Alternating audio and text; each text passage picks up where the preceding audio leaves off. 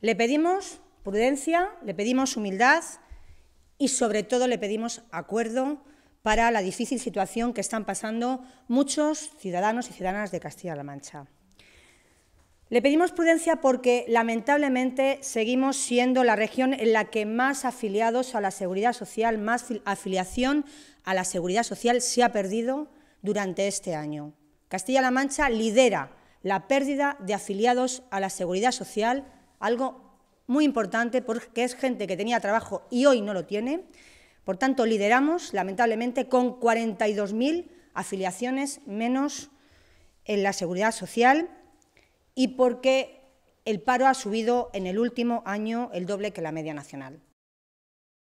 Sabemos que el dato del mes de mayo es un dato puramente coyuntural.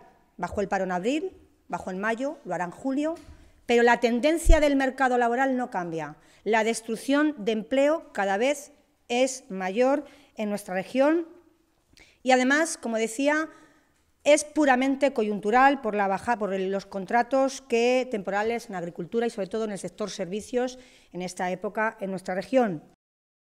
En este momento tenemos eh, una contratación indefinida que ha caído con respecto al año pasado en un 25%. Por tanto, los contratos que se hacen no son contratos indefinidos, son contratos en precario. Y esto es lo que ha traído la reforma laboral en Castilla-La Mancha y en nuestro país.